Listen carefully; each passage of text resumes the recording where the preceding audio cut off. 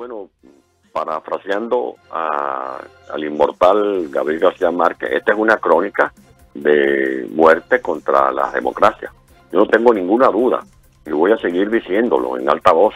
Está activo el plan del Foro de San Pablo, está aplicándose la agenda de Puebla que busca establecer el, el eje del mal, el triángulo del mal, que sería Venezuela, Brasil y Colombia. Van por el gobierno de Colombia. Hace unos meses, cuando algunos me criticaron porque dije que la maniobra contra el presidente Uribe era el pretexto, pero que el verdadero objetivo era eh, socavar las bases del gobierno democrático del presidente Duque para crear las condiciones de avanzar en la captura de las instituciones, que ojalá no ocurran, y de lamentablemente confirmarse, ya presenciaremos el espectáculo de nuevas constituciones como las que se dio Chávez en Venezuela o la que pretendió darse a sí mismo Evo Morales en Bolivia o Rafael Correa en Ecuador. Es el vaciado de las, de las instituciones públicas, le, le quitan todo el contenido para consolidarse como una hegemonía, todo tutelado desde Cuba. Y por eso cuando algunos dicen que, que no quieren soluciones mágicas para Venezuela, yo lo que les digo es que lo que no, lo que está ocurriendo en nuestro continente no tiene nada de mágico, es una realidad macabra es una realidad peligrosísima, es una verdadera amenaza para el hemisferio. Y vean cómo están avanzando en Chile, cómo están avanzando en Perú y cómo están desarrollando esta guerra de cuarta generación en Colombia, con lo cual no desmerito el, derecho a la protesta de los ciudadanos colombianos, porque yo nací protestando desde que era un adolescente, pero una cosa es la protesta legítima y otra cosa es la incursión de grupos que tienen objetivos totalmente diferentes y distintos a los que motivan la protesta ciudadana como ocurre ahora en Colombia. Mm, doctor Ledesma, le saluda William Calderón. ¿De qué manera o cómo son esas relaciones del señor Nicolás Maduro con alguna parte de la dirigencia política en Colombia para poder influir, como usted lo asegura, de, de, manera tan contundente en la protesta social en el país? Bueno, la prueba más contundente es que los huéspedes de Maduro en Venezuela son nada más y nada menos que Iván Márquez y el señor Santriz. Santriz se atrevió a dar una rueda de prensa desde territorio venezolano amenazando de muerte al presidente Duque. Iván Márquez ha venido haciendo mensajes por las redes sociales eh, promoviendo un revocatorio y llamando a la gente a, la lucha contra el, gobierno del presidente Duque. Eh, lo que está pasando actualmente en el Piedemonte Llanero, que integran Arauca y Apure, eh, bueno, es un revelador de cómo hay una relación del régimen de Maduro con estos grupos de la FARO, del ELN. Las denuncias que se han hecho meses anteriores a esta conversación que sostenemos ustedes eh, el día de hoy revelan cómo en Venezuela ha venido avanzando la presencia de grupos irregulares de origen colombiano, como el ELN, por ejemplo, que ya están en 19 estados, según lo denunció el doctor Tarazona, vocero de Fundarredes. Y además, todo el entramado que hay con el narcotráfico, que se ha ido desplazando de Colombia hacia Venezuela, donde operan para legitimar capitales, para hacer todo tipo de, operaciones de comercialización, pistas de aterrizajes, eh, alianzas transnacionales con cárteles mexicanos, porque desde Venezuela les es fácil operar porque tienen nada más y nada menos que el cártel de los soles que integran los jerarcas de la élite militar. O sea, se despachan y se dan el vuelto. Eso no es poca cosa lo que estoy diciendo. Señor Ledesma, buenos días. Andrea Bernal lo saluda. Usted dice van por el gobierno de Colombia. ¿A qué se refiere? ¿Un golpe de Estado? No, es que ya aquí no usan ya el golpe de Estado que intentó Chávez en Venezuela, que han intentado en otras coyunturas no encaja en esta época. Y así tampoco encajan las guerrillas. Ya las guerrillas no dan el resultado eh, que presupuestan de alcanzar el poder. Por eso más bien utilizan las virtudes de la democracia, se valen de los recursos que pone en su, en su tránsito el sistema democrático para alcanzar el poder, como lo hizo Chávez en Venezuela, que después de fracasar con dos intentos de, de golpes de Estado, asumió el poder diciendo que iba a respetar el Estado de Derecho, que iba a respetar el derecho de propiedad, que iba a respetar la libertad de expresión, que iba a respetar los derechos humanos, que iba a acabar con la corrupción, que iba a acabar con las mafias judiciales, e hizo absolutamente todo lo contrario. Arruinó a Venezuela y además saqueó a Venezuela.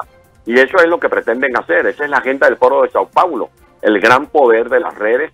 Ayer hablaba aquí en un análisis que hacíamos con algunas figuras políticas de cómo en Chile, cuando se comenzaron a dar los sucesos, se demostró que fue, el, fue uno de los días en que hubo mayor circulación de redes sociales en el mundo, en el mundo. Y ese es uno de los recursos que utilizan en el esquema de esta guerra de cuarta generación, la guerra, las guerrillas urbanas, las protestas urbanas, el, uso de las, de las redes sociales, estas declaraciones de que no le den armas al gobierno porque mata a la gente, cuando vemos que en Venezuela hay una carrera armamentista de recursos bélicos y que hubo denuncias incluso de cómo fusiles que eran patrimonio de la Fuerza Armada Nacional llegaron a parar a manos de los efectivos de las Fuerzas Armadas Revolucionarias de Colombia. Ahora, Nicolás Maduro tiene ese poder y el dinero para fomentar esas acciones en Colombia. ¿De dónde viene e-, ese dinero? Porque para, para hacer lo que está pasando en Colombia se necesita mucho dinero, señor Ledesma. ¿Y, y cuánto cree usted, señorita Bernal, que le saquearon a Venezuela? Hay cifras que oscilan entre 400 mil a 600 mil millones de dólares. Usted no está tanto de lo que significa la mina de oro del arco minero. Es la cuarta mina más grande del mundo. Allí hay más de 1.400.000 toneladas de oro. Por eso es un, es, un predio muy disputado, donde también interactúan no solo los grupos guerrilleros a los que he referido, sino también los tentáculos de Hezbollah. Pero además de oro hay diamante. Pero además de oro y diamante hay el toriol, hay el coltán. Y si eso no es suficiente, están los recursos del narcotráfico. ¿Cuántas toneladas de cocaína salieron durante el año 2019-2020 y lo que está cursando hacia, hacia los Estados Unidos? La información que se maneja es que en Colombia ya no es que hay un cultivo al año, hay cuatro cosechas al año. Y todo ese recurso de la materia prima se desplaza ya elaborado hacia Venezuela y de Venezuela lo trasladan en el estado Zulia, que es un estado vecino a La Guajira y, que forma parte de esos 2.200 kilómetros cuadrados de, frontera porosa. Hay más de 50 pistas. De ahí salen aviones cargados hacia Honduras, hacia Guatemala. Y cuando no es por aire, es por mar, las lanchas rápidas. O sea, el pleito que hay ahorita entre Gentil Duarte, que es el disidente de la y con los grupos de, de Santrich y de Iván Márquez, ¿por qué es? Es por la paz del pueblo, es por la soberanía.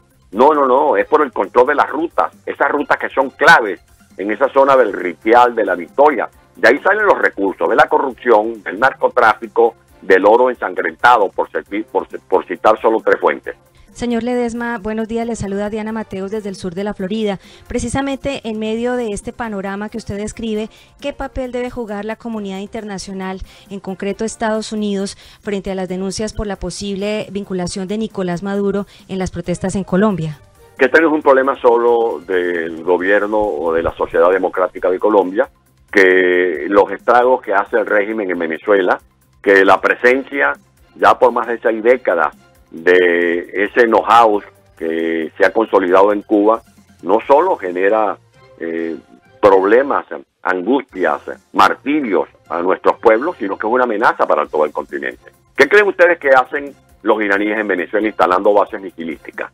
¿Usted cree que están realmente construyendo bicicletas, como fue el convenio que originalmente firmó Chávez con los jerarcas iraníes para montar una fábrica de bicicletas en el estado Bolívar? No, ¿Qué creen ustedes que hacen allí los rusos metidos en el territorio venezolano? Quieren hacer de Venezuela una plataforma desde la cual se puedan desarrollar provocaciones bélicas en el, corto plazo. Eso es una amenaza continental para el hemisferio. Nosotros no estamos diciendo que nos resuelvan el problema nosotros, eso es mentira.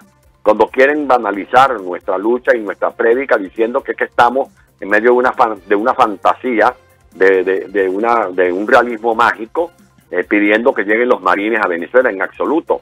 Lo que no queremos es que los, es que los marines sean asesinados en los Estados Unidos, porque lo que está planteado es, hacer de Venezuela una base de choque, porque no es lo mismo tener una base de, lanzamiento de cohetes en Teherán que tenerla en Caracas o tenerla en La Guaira, que está a, menos millas de distancia del territorio venezolano que la distancia que hay entre los Estados Unidos y, y Teherán.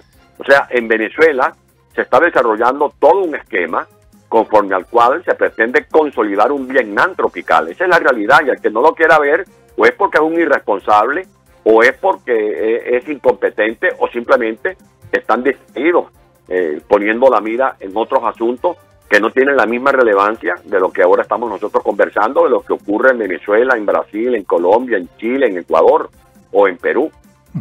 Señor Ledesma, eh, siguiendo por esa línea del eh, espectro que hay internacional y de la mirada que hay internacionalmente sobre lo que está pasando en Colombia, ¿qué explicación le da usted a la manera como algunos medios internacionales están eh, etiquetando al gobierno colombiano como un gobierno genocida, como un gobierno que no respeta los derechos humanos, casi como una dictadura.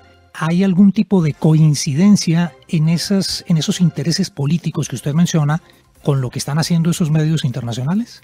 Tiene que haber alguna relación, eh, sin duda alguna premeditada, que responde a las mismas estrategias o tácticas que se han aplicado en el caso concreto, por ejemplo, de Chile, eh, en el caso de Venezuela, porque es inexplicable que haya algunos factores políticos o comunicacionales, por ejemplo, que se atrevan a defender a un esperpento como el que usurpa los poderes en Venezuela. Eh, es peor que lo de Pablo, de lo, lo de Pablo Escobar. En Venezuela se fusionan los dos esquemas del narcotráfico del Chapo Guzmán en México y de Pablo Escobar o del cártel de Cali en Colombia. Y, con el hecho cierto de que los colombianos impidieron que Pablo Escobar llegara al poder. Eh, Juan Carlos Galán, Rodrigo Lara eh, se expusieron eh, defendiendo las instituciones de Colombia. Y porque había una reseña policial de Pablo Escobar, una, una simple reseña policial, lo aventaron del Congreso, del Congreso colombiano. En Venezuela no es que hay una reseña policial de Maduro, hay una reseña de la DEA, hay un aviso, una galería donde aparece Maduro, aparece Diosdado Cabello, aparece todo el clan del narcotráfico, incluso ofrecen recompensas de 10 y 15 millones de dólares. Pues bien, esos, capos no es que están en una caleta o están en un escondite, eh, no es que están en la catedral, no, están en el Palacio de Miraflores, están al frente del Ministerio de la Defensa, están al frente de PDVSA, están al frente del Banco Central de Venezuela. Y ese Banco Central de Venezuela lo han convertido en un casino financiero para legitimar capitales. Entonces, eso no lo quieren ver los factores internacionales y los medios de comunicación que generan noticias en el mundo. Claro que se pueden cometer excesos y esos excesos yo los condeno. Cualquier policía del mundo que cometa un exceso lo condeno y rescato el, derecho legítimo que tienen los ciudadanos colombianos a protestar. Tienen su legítimo derecho, pero que por favor no dejen de ver la verdadera mala intención de quienes tras bastidores pretenden aprovecharse de esta coyuntura para manipular y desnaturalizar la verdadera esencia de la protesta cívica. Y están por ponerle la mano al, poder en Colombia. Y después que le pongan la mano en Colombia, Dios no quiera que el pueblo de Colombia sufra lo que está viviendo hoy el pueblo de Venezuela. Donde un ciudadano que trabaja 30 días al mes gana menos de 2 dólares. Donde hay ciudadanos que no se pueden quedar en sus casas y desafían la cuarentena no porque sean irreverentes o irresponsables, sino que tienen que salir a la calle a buscar un pedazo de pollo para ver cómo alimentan a sus hijos, que Venezuela es el país donde mueren niños diariamente por hambre, que hay más de 400 mil criaturas ya sentenciados a tener un desarrollo atrofiado porque no consumieron alimentos suficientes en la etapa esencial de su vida, que arruinaron a PDVSA, que era la industria más, de las más calificadas del mundo, hoy está quebrada, arruinada y endeudada, que hicieron de Venezuela un narcoestado, que ya no exportamos petróleo, pero sí exportamos cocaína, que eso lo ve el pueblo de Colombia. Señor Ledesma, eh, la situación en Colombia es totalmente distinta a la que sufrió Cuba en la década del 50 o Venezuela a comienzos de los años 2000 y esa, esa cubanización de Colombia o venezuelanización de Colombia eh, puede ser distinta porque hay un poco más de millón y medio de venezolanos que han salido de su país al nuestro y que de una u otra forma han generado problemas de desempleo, problemas de seguridad y obviamente todo lo que tiene que ver con estas migraciones muy informales. Estos venezolanos que hay en Colombia pueden convertirse en una amenaza o puede ser deliberado de que el régimen de Maduro los haya mandado para Colombia y que esto usted se esté notando en estas protestas? No, la inmensa mayoría de los venezolanos ha, huido de la persecución y mal pudieran convertirse en trompos servidores de quienes los han martirizado. Eh, pudiéramos hablar, sí, ya para responder específicamente a su interrogante, de espías cubanos, de espías cubanos, como los hay en Venezuela, los llamados avispas negras, o parte de ese ejército cubano que está pisoteando nuestro territorio. Estamos hablando de más de 22 mil efectivos cubanos. No lo digo yo, lo denunció un informe nada más y nada menos que el secretario general actual de la OEA, el doctor Luis Almagro. Pero sí pueden haber estos infiltrados que eh, el régimen los pueda colar por la frontera con misiones específicas, que es la de generar algunos inconvenientes. Por ejemplo, recuerdo eh, que en el Valle del Cauca, el, creo que fue el, 8 o 9 de mayo de este año, el ministro de la Defensa, el señor Molano, eh, detuvieron a 30 personas, identificadas precisamente eh, o de origen venezolano. Eso no son, no eran ciudadanos que estaban huyendo porque no tienen agua, no tienen luz, no tienen gas, o porque profesores que huyen de la Universidad Central de Venezuela porque lo que ganan son al mes 5 dólares y hay gente que huye de, esa tragedia. Pero no tengo ninguna duda que aquí está en, práctica eh, la tutoría cubana y ellos son expertos en eso. En Cuba ya no producen ni caña de azúcar y las vaquitas que antes había en, Cuba, en Cuba ya no dan leche, lo que dan es lástima. Pero son expertos en esto, en generar conflictos, en generar eh, tramoya, en generar convulsiones. Y ahí tiene que estar el tufo cubano, sin duda alguna, con la alianza que ahora desarrollan o adelantan con Maduro. Doctor de Ledesma, le habla Marcos Morín desde Caracas. Usted en el pasado ha denunciado la presencia de fuerzas militares rusas en Venezuela. ¿Podría Rusia también estar incidiendo en las protestas en Colombia? Bueno, están respaldando a Maduro eh, con el mayor mm, descaro y pragmatismo, porque eh, para ellos no importa que sean traficantes, para ellos no importa que sean criminales de lesa humanidad, lo que les, interesa es mover el tablero eh, de la geopolítica. no me extraña que pudieran estar también de una u otra manera eh, involucrados en todo este esquema que busca desestabilizar eh, gobierno de Colombia y crear las condiciones para que en un proceso, usando las virtudes y recursos de la misma democracia, lleguen a capturar las instituciones del Estado. Sí, señor Ledesma, usted habla de funcionarios diplomáticos de Rusia, habla de la presencia incluso de Hezbollah, pero ustedes en la oposición tienen algún hecho concreto que haya demostrado que hubo una interferencia del gobierno de Maduro, por ejemplo, en las protestas eh, en América Latina, en Chile, en Ecuador o también en, lo que está pasando ahora mismo en Colombia? Hubo denuncias, eh, no tengo datos específicos a la mano, pero sí hubo denuncias en su oportunidad en Chile eh, y también los, eh, los ejemplos que acabo de razonar en la conversación que, estamos sobrellevando, de cómo hay, la, es evidente la presencia de los capos de la narcoguerrilla colombiana en territorio venezolano, y que los protegen no ahora con Maduro. Esa, ese manto de impunidad se los ofreció Chávez desde hace mucho tiempo. Y he recordado que fue Chávez uno de los que más eh, frenéticamente exigía el carácter deliberante para la FARC que presidía o dirigía Marulanda. Y luego eh, se lanzaron todo tipo de denuestos contra el expresidente Uribe cuando se puso al corriente a la comunidad internacional de todos los datos que estaban en el famoso, la famosa computadora que se le encontró al, al guerrillero Reyes cuando fue dado de baja en la frontera con Ecuador. Allí que hay esta, toda esta malla toda esta red, pudiéramos decir mejor dicho, eh, que forma parte de, lo que, o que tiene que ver eh, con los hilos con los que se va tejiendo la estrategia del Foro de San Paulo, ahora Grupo de Puebla o el llamado progresismo. Señor Ledesma, ¿qué tanto de lo que está pasando cree usted que hace parte del plan que usted describe y qué tanto cree que es una legítima molestia del pueblo colombiano? Ahí hay, mucho, voy a ver, la, molestia es natural en un país donde no, no dejan de haber dificultades de orden social y económico y la gente siempre eh, tiende a buscar soluciones a sus necesidades. Y la democracia eh, tiene implícito ese derecho a que la gente reclame eh, y vaya, y sobre todo los jóvenes que van comparando es la democracia con la democracia misma. Los jóvenes no, no los que forman parte de la sociedad colombiana no tienen por qué simplemente comparar la democracia de ahora con las dictaduras de los viejos tiempos. Le hacen exigencias, le hacen reclamos a la democracia. Pero al lado de ese reclamo natural y de esos escenarios que son legítimos y que tienen una factura eh, limpia, transparente, eh, con un ánimo que no se puede cuestionar ni estigmatizar, está la estrategia que viene desarrollando el Foro de San Pablo en nuestro continente para escalar en la idea de que se consolide eh, esa peregrina y anacrónica tesis del, del socialismo del siglo XXI. Eso es evidente.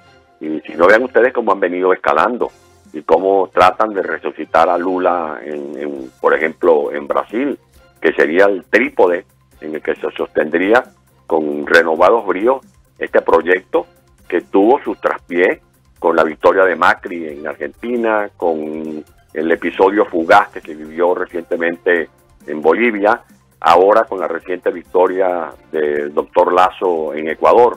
Pero sigue, sigue habiendo una, una amenaza latente, una amenaza latente eh, conforme a la cual no se busca que superar estos, estos estratos de, de, de, pobreza, de injusticia que dan pie a muchas protestas, como usted los llama la protesta natural, sino que buscan es socavar definitivamente la, la democracia, porque no es democracia un gobierno que luego use los recursos que le que ponen en, sus, manos la democracia misma para darse constituciones o darse leyes que simplemente lo que sirven es de amalgama para consolidar hegemonías gubernamentales.